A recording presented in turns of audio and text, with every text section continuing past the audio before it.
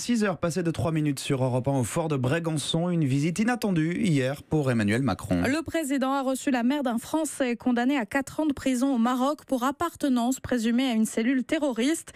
Il clame son innocence. Sa mère est venue plaider sa cause sans rendez-vous.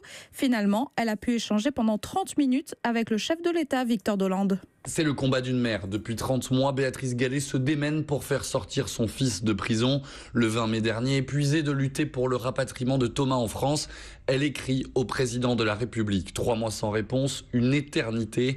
Hier, elle a décidé d'aller à la rencontre d'Emmanuel Macron sur son lieu de vacances.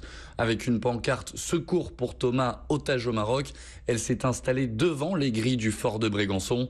Elle a fini par être reçue par le chef de l'État. Je lui suis très reconnaissante euh, euh, reçu une citoyenne en détresse. Je trouve qu'il a répondu à mon appel au secours et ça c'est important. J'ai été reçue par le chef de l'État. Pour moi, ma mission est accomplie. Je ne peux pas aller plus loin que ça. Je vais pouvoir rentrer chez moi et espérer que Thomas pourra être rapatrié sans trop de délai. Après un entretien de 30 minutes, Emmanuel Macron lui a promis qu'il allait s'occuper personnellement de cette affaire.